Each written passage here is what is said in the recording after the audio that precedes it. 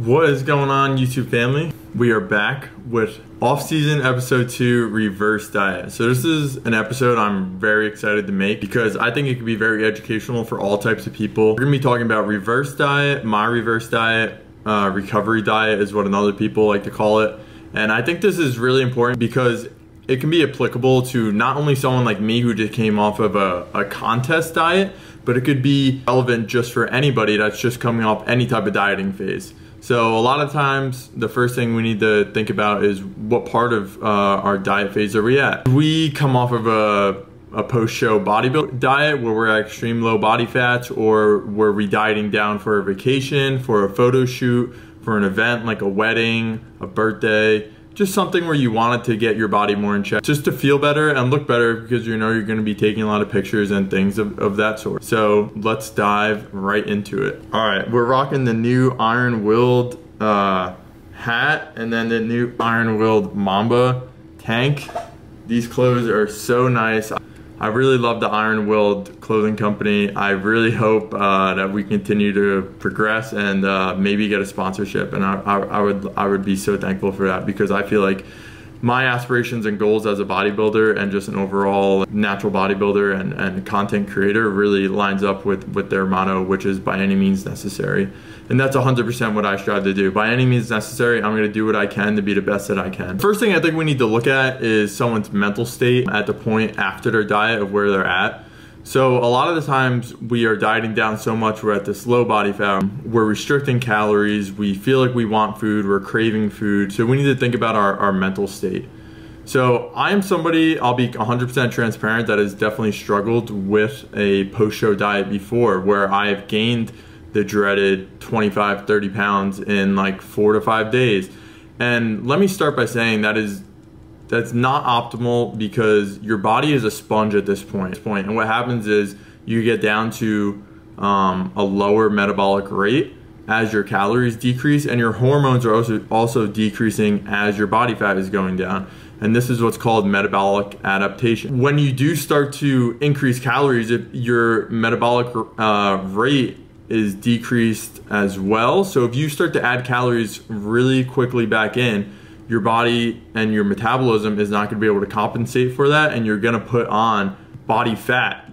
Not just weight you're going to put your body is going to store those extra calories and weight as body fat which is what none of us want to do because we're going to go from our physique or look that we were most proud of to what potentially be our worst physique in a, such a short period of time when our body fat is at a super low level like this, we're not at an optimal time to train, especially in the gym if we're trying to put on muscle in my instance. We're very susceptible to injury. So our bodies are depleted, there we're low energy. So if we're trying to push weight and whatnot, we're continuing to restrict calories, we're gonna put ourselves more at risk for injury. So with that being said, my coach and uh, my plan moving forward is I'm someone that is 100% about structure.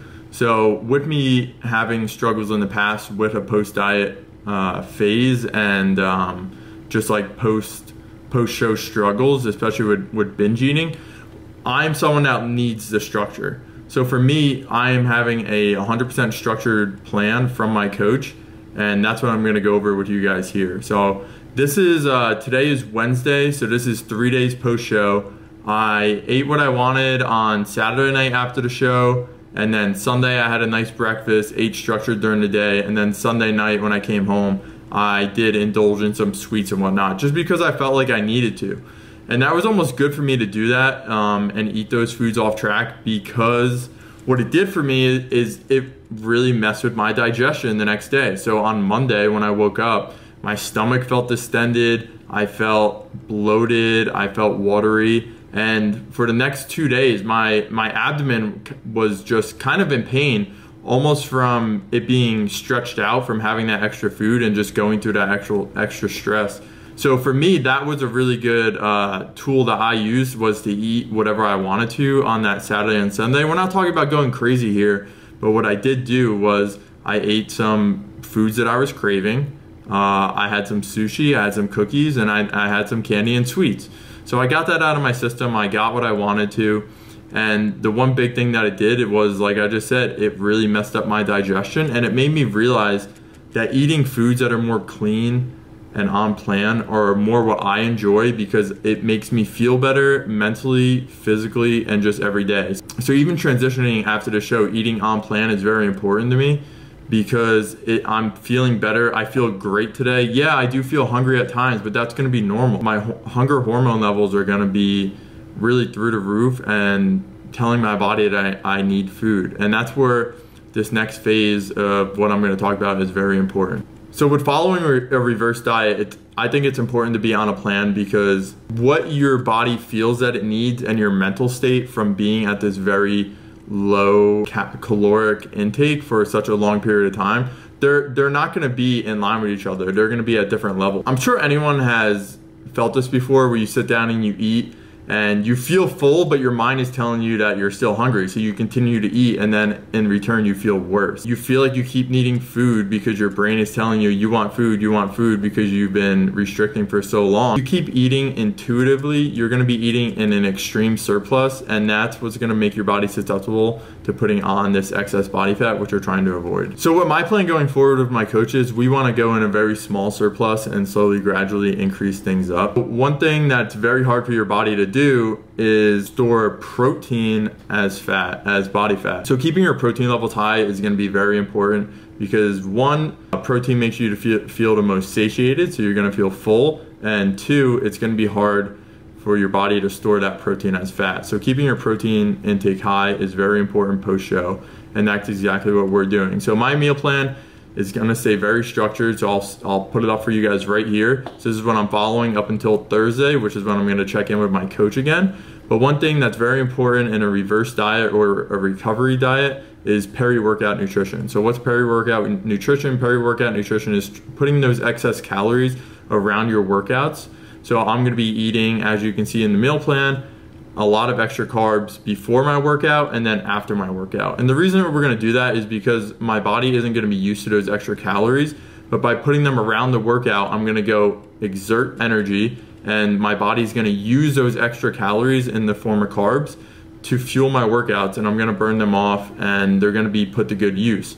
So what that's gonna help me do is build muscle back and my strength back slowly. So we're gonna put these extra calories to use in a muscle building aspect around my training and that's what's going to benefit me. One thing I want to talk about that's that's very important to me, and the reason I can stay on plan so much is because I'm very I'm a very motivated person. So getting second place in this second consecutive show was is very demoralizing to me, and I'm very motivated to know that following this structured reverse diet is going to be very optimal for me for improving in the future. I want to win. When it comes down to it, I'm very passionate about bodybuilding. I'm passionate about what I believe that I can achieve. My coach and I still believe that I can be one of the the best natural bodybuilders in natural bodybuilding competitions. So that's what I'm striving to achieve.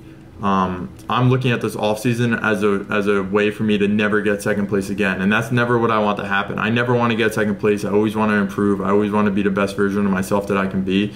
So it all starts. It all started on Monday. So from Monday here on out, I'm treating every single day very important. Um, ever since Monday, I'm treating this off season as an opportunity to get better, to improve, and to never leave any stone unturned. So me following this structured plan, I see it as a purpose. This off season for me is just a continuation of my competition and just my overall development of my body. I've only been bodybuilding for 3 years total and 2 years ago is when I did do my first competition and I didn't follow a reverse diet and I went from what at that time was the best physique in my life to the worst physique in my life in a matter of a week because I couldn't control my eating, I couldn't control my food intake no matter what I did. And by eating foods that I would want and crave at that moment, so say I would go eat pancakes, I would make pancakes and uh, have a protein shake or something in the morning,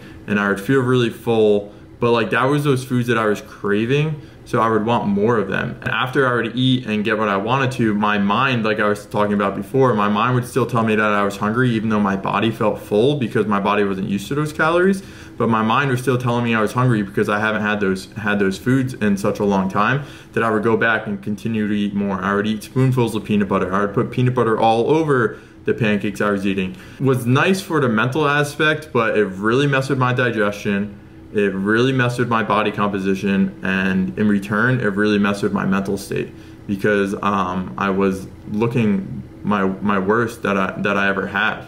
So it was difficult for me to train, and in return, your body at this at this moment after uh, an extreme dieting phase, if your goal is to put on muscle, which a lot of people's is, even in any aspect, because muscle is what's going to help you look better and feel better. So we want to optimize myself, put packing on as much muscle as I can, and gaining that size back in a structure and uh, in a, a smartly planned manner. What we're going to do is we're going to increase those carbs around my meals um, I'm going to check in with my coach on Thursday, and we're going to probably see how my body composition is looking, how my weight is looking. I'll give you guys a, uh, a weight update tomorrow with my check in, and we'll see how many pounds up I was from the stage. So I was 175 pounds, give or take, the morning of the show. So that's going to fluctuate as we're eating food. But the morning of the show, when I woke up fasted, I was 175, I think 0.4 pounds. So I'll let you guys know what the the uh, four, it'll be five days, the five days post show weight is, and then I'll let you know what my coach makes uh, in terms of adjustments and plans. So we're going to continue to build up food as we go. We're going to do it in a slow, controlled manner because we want my body and my metabolism to adapt to the extra food as opposed to giving me all this extra food all at once because it's going to store all those extra calories as fat, which is what we don't want to do. All right, good morning, guys. Today is Thursday, first day. I'm checking in with my coach. So let's see a little physique update and then I'll show you my weight.